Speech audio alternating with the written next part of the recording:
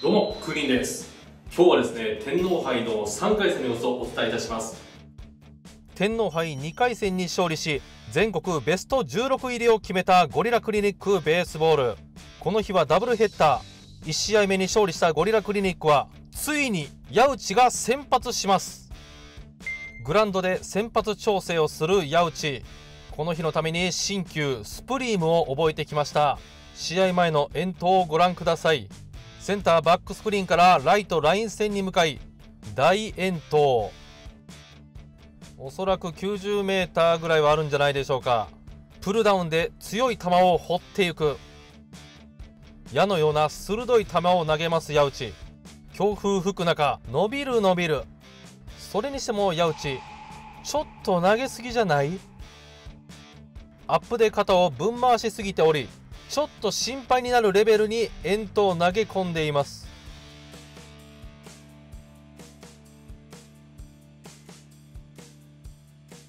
さあそして野手メンバーも出てきました。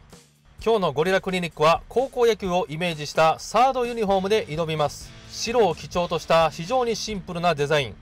まるで白星を連想するかのような縁起のいいユニフォームです。さあそして矢内まだ遠投してます。肩大丈夫か？まもなく試合が始まりますがここで皆さんに残念なお知らせです。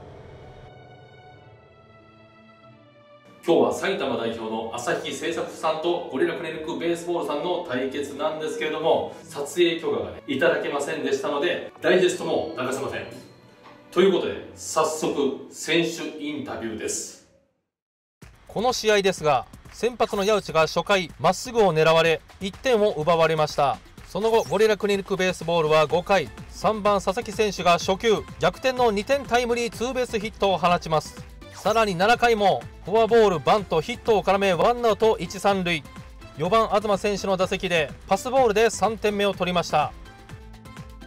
さあ3回戦ですけども試合映像流せませんでしたけれども今日の試合は3対1で勝利しました。今試合が終わったメンバーがこちらです。試合後は選手たち選手の家族やゴリラクリニックの社員友人などと記念撮影。東京から佐賀への遠征となっていますがなんとゴリラの関係者は無料招待されるという選手思いのゴリラクリニック。そしてインタビュー開始。さあそれでは今日の激戦振り返ってもらいましょう。キャプテンの神波くんですどうも目が見えません。やられちゃいました。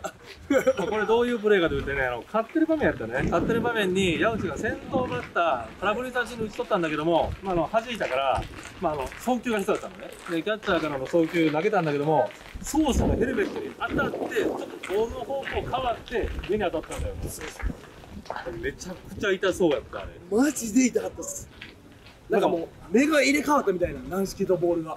え？みたいなあの初めて聞いたよあの北斗の拳みたい。な声ヘブシって言ってたよ。ピシャーって出ました。ヘブシっつってその瞬間倒れてさ。ちょっとベンチのも戻ってね治療したんだけどその後戻ってきて「ごめんやっぱ無理。頼む!」っつってね。大きな声でもうそっから完全にね応援する方に回ってしっかりと役割を果たしたっていう。ねすごいそれが印象的でした、明日これ試合大丈夫？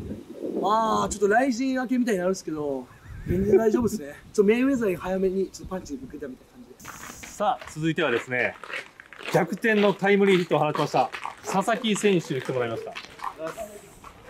おめでとうございます。いやまず佐々木君聞かせてくださいよ。味方がまず満塁のチャンス作りました、はい、初球振りに来ました。あの時の打席どんな心境で臨んだんですか？足ガクガクで1、2打席目内野フライ、内野フライだったんで、いや、マジでここで打たなかったらマジで迷惑かけると思って。でも、打つなら初球だなと思って、迷わず行きましたね。その打つなら初球の意図は何なんですか？いや、追い込まれたら、スライダー、落ちる系、結構投げてくるんで、基本今日まっすぐだったんで、まっすぐ1、2、3に絞っていきました。スライダーが風で曲がったり曲がんなかったりだったんで、そうなんだ。スライダーを打つのは結構難しいかなと思って。もうスライダーが切れたんだ。はい。で、打ったらまっすぐ。そうです、まっすぐ。素晴らしい当たりだったね。いや短く持ちましたよ。短く持ってた初球から短く持つのあんまないですけど。えいやもうそれぐらい気持ちはこもはい、気持ちいいですね。以上佐々木選手でしたはい、ありがとうございますお疲れ様ですお疲れ様おです疲れ様です2番の城島選手来てもらいました、はいありがとうございます今日もいい働き今日2安打はい、ニャンです。そしてバントはい。あれは？あれも単独です。単独なんだ、はサインかと思ったよい。はい。毎度毎度バントうまいね死ぬ気でやってるからバントのコツは何ですか？普通ですか？いや、もう特に気持ちです。先発ピッチャーが1点取られて、結構序盤苦しい状況だったと思うんだけど、はいその中どういうふうに打席は臨んでたんですか？スライダー、まあ、良かったんですけど、稼いでちょっと伸びたり曲がったりして難しかったんで、ちょっとコンパクトに。で、まあ、とにかく、まあ、佐々木東がいいバッターなので、そこにつなぐことを自分は考えてました。チーム全体で結構スライダーを打ちあぐれた感じそうですね。はい。でそこからちょっとスライダー狙いよりかはまっすぐ中心狙っていってバット低めバット短く握ってライナー性打っていこうみたいなそういうことはい、そうです。で今日もサードでいい守備してましたけどはい。守備が去年と比べてはい格段に上がってる気がするんだけそうですね、もうめちゃくちゃ今波監督に鍛えてもらってるんで、どだからなんだなんか印象的なのが、はい。あの普通にイニング間のゴロ取ってから投げた後も、はい。結構飛んでると思うの、はい。ピョーンって、はい。すごいなんていうのバネを感じるんだけど、はい。あれはなんか意識してるそうです、まあ、矢内と自主トレの中で、まあ、バネを鍛えて、私は、まあ、走力アップして、バネをつけたら、そういう感じになってるかもしキャプテン神波君がちょっと負傷交代しましたけど。はい。あの時どう思いましたか？まあ、一応僕が副キャプテンなんで、まそうだったんだあ、あ、そうなんです。副キャプテンなんだ、はい。だから初、めて知っまあキャプテンがいない分、副キャプテンの自分が声出そうと思って。たわかりました、はい明日も頑張ってください、はい、ありがとうございます。お疲れ様ありがとうございました。いやー素晴らしかったですね。本当ね、今日の試合皆さんにお届けしたかったです。なかなかね、あの、掲載、あの、撮影許可がね、取れずに配信はできないんですけども、本当にね、ゴリラの皆さん、素晴らしい試合でした。以上、本日の3回戦の様子でございました。えー、ちょっと待ったちょっと待ったちょちょちょちょちょちょえ仕掛けなのに眩しい。発信してないですかうわら、ーちょっとあ本当に今日はもう、はい、今日先発の矢内くんです。はい、ありがとうおございます。疲れ様でした。9回1失点完投。はい、ありがとうございます。ちょっとね、完封と行きたかったんですけどね、初回からいきなり打たれましたと。初回はまっすぐを捉えられたのかな？まっすぐです、ね。両方ともはい、まっすぐを。はい、もしかしたらまっすぐ狙いだったのかもしれないねそうですね、ちょっとハリハリ、まあ高めに浮いたのもあるんですけど、ちょっと打たれちゃいました。ただその中も粘り強くしっかりと投げてはい、結果最後まで的を絞らせない、まあ、最初まっすぐ中心からちょっと変化球中盤多めにしてそうですね。最後はまたはまっすぐ落としたみたいな感じですごいいい感じでハマったと思うんだけど、い、はい、はい。と監督にはどんな風に言われたんですか？いやもう本当にあのありがたい言葉なんですけど信頼してるぜよちと。いうことでもう送り出してもらって本当にもうその思いを背負って絶対に裏切らないという。やってやるぞという気持ちで来ましたすごいねぱり監督はこの魔法使いだね。そうです言葉のね使い方うまいね。もうテクニシャンですね。思ってなくてもやっぱそういう言葉をしっかりと言ってね。そうそう。もう全然思ってなくてもでおいおいおいおいおいと 思ってますよ。絶対思ってますよ監督は。矢内君がこう試合前に監督にこう任せたぞっていうことを言われてこうもう頑張ろうっていう気になったっていうのをおっしゃられてたんですけど。全部嘘です。初回の1失点だけで矢内が頑張ってくれたんで、本当に2試合目っていうのは矢口様様だと思いますね。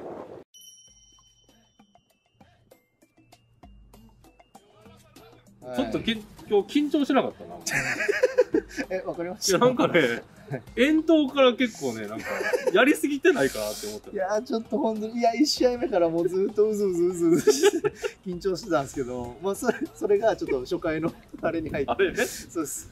でもまあ試合の中でうまく緊張取れてったんで最後の方とかはまっすぐ走ったなあいただと思います。でまあ、制球力、今日でも打たれた中でも、すごい良かったと思うんだけど、はい。グラブ変えたことも、いやそうです。グラブ変えたのが一番多分大きいです。うん。フォームどうこうっていうよりグラブがこの玉沢のグラブ。ちょっと縦っぽくしたんですよ僕。